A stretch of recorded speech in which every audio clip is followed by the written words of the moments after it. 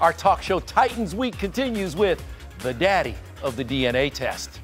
In the case of three year old Carlito, Rayshawn, you are not. Titan? Are you kidding? It's called Survivor. There are 75 daytime talk shows in the graveyard. Okay? so you worry about that all the time. You just don't want to go to the cemetery. Marco, you are not. Maury found talk show ratings gold by asking one provocative question Who's the daddy? And they said, We have this idea. Uh, we want to do paternity tests, and we can have a result within 10 or 12 minutes. And the audience, that's all they're looking for is a result. And you build that up with the drama. I said, I don't want to know the result. If I know the answer, I will skew my questions. I don't want to know anything more than the people I'm talking to. And that was the key.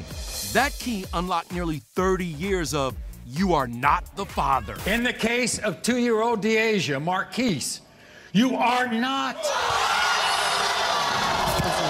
James, you are the father. Today, Maury works only two days a week and makes an estimated 13 million a year. Worth a reported 60 million, Maury still gets 100 calls a week asking if he can help determine paternity.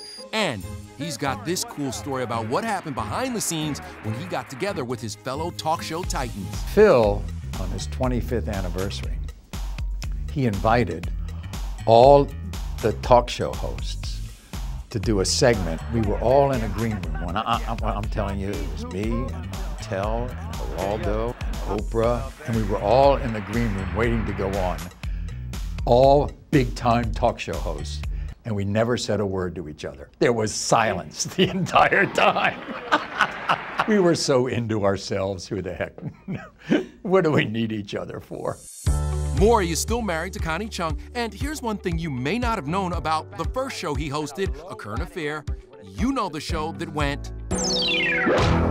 We wanted this sound that whenever you, somebody heard that, they would stop what they were doing and watch the show. And they named it as a gift uh, to my wife, so they called it the Connie Kachung.